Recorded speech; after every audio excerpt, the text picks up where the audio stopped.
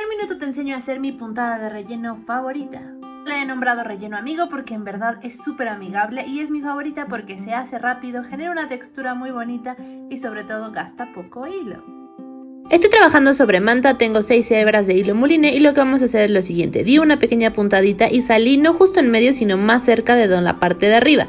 Si se dan cuenta mi hilo siempre está llevado hacia el mismo lado que sería en este caso pues la derecha o hacia abajo. Esta es la forma en la que más rápido se hace la puntada, es dando unas puntaditas. Terminé y salgo ahí y ahora lo importante es lo siguiente. Para la segunda vuelta lo importante es que estos pequeños pellizquitos o puntaditas que damos no estén a la misma altura, sino se vayan intercalando para poder rellenar mejor y sobre todo que se genere una textura muy monona. Recuerden siempre que cuando tengan curvas hagan las puntadas un poquito más chiquitas para que no generen ángulos. Así queda por atrás y por delante. Adiós.